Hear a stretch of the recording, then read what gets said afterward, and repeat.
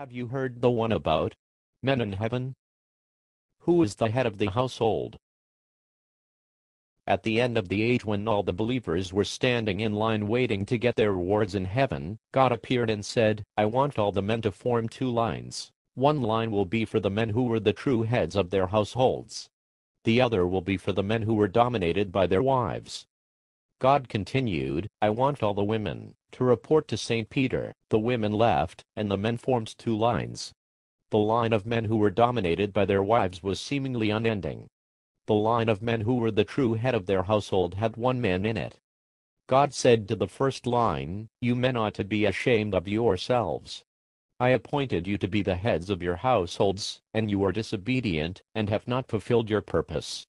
Of all of you, there is only one man who obeyed me.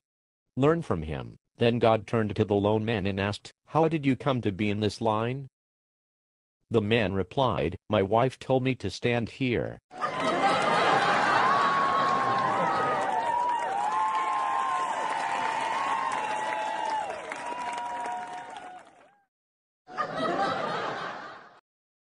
Blue bot. There's something I can't figure out. What's that green bot? Well, according to the Bible, the children of Israel crossed the Red Sea, right? Right. And the children of Israel beat up the Philistines, right? Yes, right. And the children of Israel built the temple, right? Again you're right. And the children of Israel fought the Egyptians, and the children of Israel fought the Romans, and the children of Israel was always doing something important, right? All that is right, too. So what's your question? What I want to know is this. What was all the adults doing?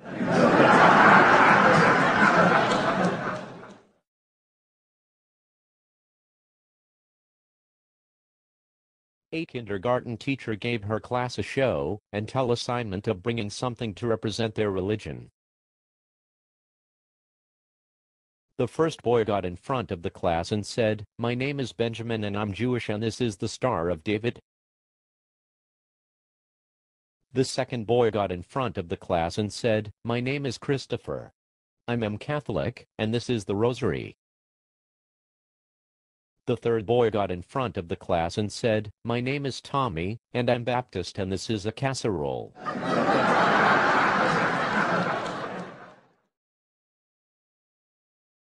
One Sunday in a Midwest city, a young child was acting up during the morning worship hour. Okay. The parents did their best to maintain some sense of order in the pew, but were losing the battle.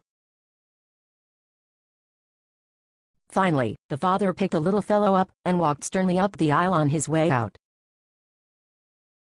Just before reaching the safety of the foyer, the little one called loudly to the congregation, Pray for me. Pray for me. I have a joke for you. Let's hear it. A kindergarten teacher was observing her classroom of children while they drew.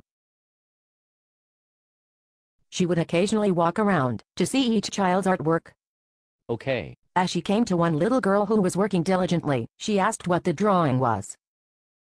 The girl replied, I'm drawing God. The teacher paused and said, but no one knows what God looks like. Without missing a beat, or looking up from her drawing the girl replied. They will in a second.